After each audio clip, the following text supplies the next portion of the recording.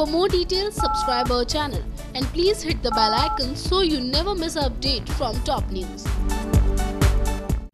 Zee TV के most popular show Ishq Subhan Allah से जुड़े एक और बड़ी अपडेट के साथ हाजिर हो गए हैं हम, जहाँ आप सभी ने इस शो के पिछले एपिसोड में ये देखा कि कैसे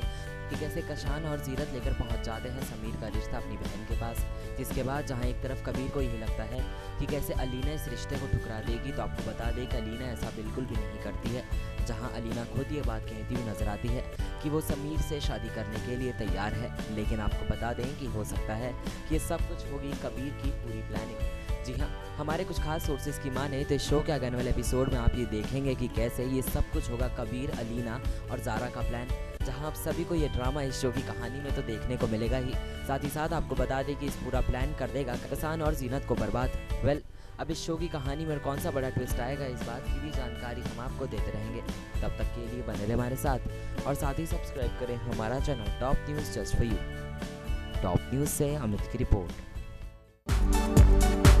For more details, subscribe our channel and please hit the bell icon so you never miss an update from top news.